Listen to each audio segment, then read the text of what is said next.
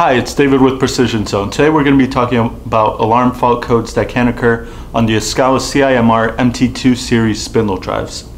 Alarm information is going to be located on the left hand side of the drive uh, with the white LEDs. The green LEDs are for status indications uh, and so please keep that in mind. Uh, alarms that you can uh, receive on these drives would be uh, if you're having issues with your braking, uh, say an overvoltage on braking, uh, likely you do have an issue with the regen section of this drive. Uh, in that case, not much to do. Uh, you would need to get that drive repaired. Similarly, overvoltage is very similar to undervoltage. you have an issue with your power coming into the drive. In those cases, you want to verify that your incoming power is within range.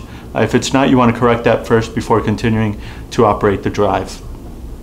Other drive related alarms, you can get an OH alarm, which would be a uh, drive overheat, uh, in, that, in which case you could have an issue with that sensor uh, detecting the temperature of the heatsink, or more likely you have a problem with uh, the cooling of the drive.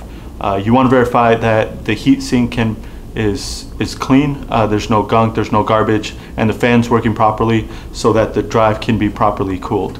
Uh, if you're getting that overheat alarm, you can also be getting a fan C alarm, which would be an issue with the controller fan, and that's related to the heat sink as well. Uh, another fan alarm that you can get is a fan M, which would indicate a spindle motor fan issue. Uh, you want to verify, in that case, you want to verify that your uh, motor is being properly cooled. This could also be causing an overload alarm an OL alarm. So in both of, with both of those alarms, you want to verify the conditions in which the spindle motor is operating in, as that could be causing uh, one of those two alarms. You want to verify that your fan's working properly and that the that your motor is being properly cooled.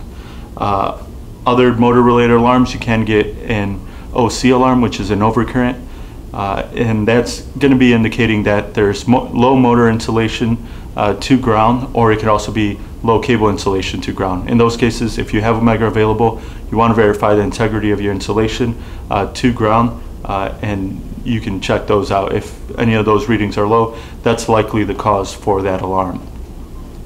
A lot of times when you do get overcurrents during operation, uh, it's very likely that there could have been uh, other damage to the drive, uh, such as the AC fuse alarm or the DC fuse alarm. In those cases, it's indicating that a fuse has been tripped in the drive.